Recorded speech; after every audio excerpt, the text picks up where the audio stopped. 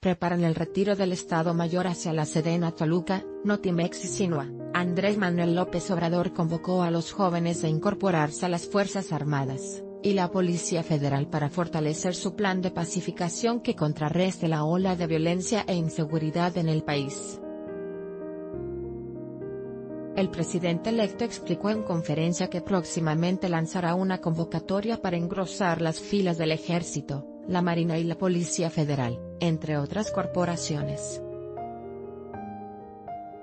Durante una gira por el Estado de México, López Obrador dijo que con la convocatoria espera que se sumen otros 50.000 hombres y mujeres a dichas corporaciones civiles y militares. Vamos a convocar a más elementos para el Ejército, para la Marina, para la Policía Federal, para todas las corporaciones, pero muchos más alrededor de 50.000 elementos más en el país, y voy a ser yo la convocatoria para que nos ayuden jóvenes que quieran formar parte del ejército, la marina, la policía federal, pidiéndoles su apoyo para que entre todos serenemos al país, apuntó el político tabasqueño.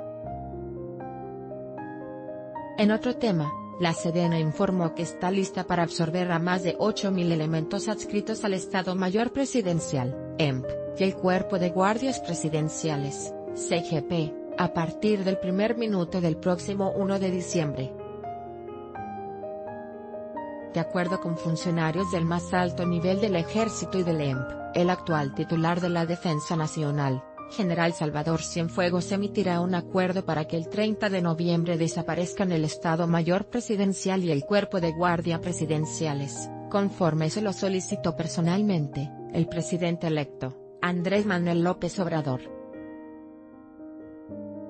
En tanto se ejecuta esta decisión detallaron las fuentes consultadas en Cancún en el marco de la 13 Conferencia de Ministros de Defensa de las Américas, y en la Ciudad de México el presidente Enrique Peña Nieto, y su familia seguirán bajo el cuidado del Estado Mayor Presidencial.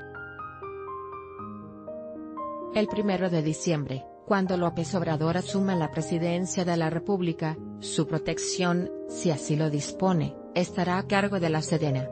Los dignatarios, jefes de Estado y de Gobierno que asistan a la toma de protesta presidencial, y realicen vistas a México serán resguardados por el Ejército.